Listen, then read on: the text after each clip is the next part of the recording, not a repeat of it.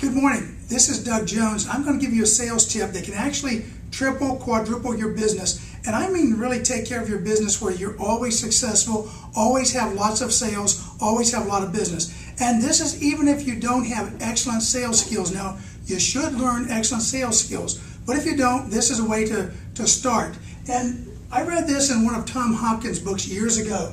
It's called STP. And what this is, is see 20 people belly to belly every day. So if you see 20 people belly to belly every day in a sales situation, you'll be successful. What I do to remind myself is I bought these little little Buddhas, little chubby Buddhas, and they got the big bellies as you can see, and it reminds me, and I keep it right on my desk, to see 20 people belly to belly every day.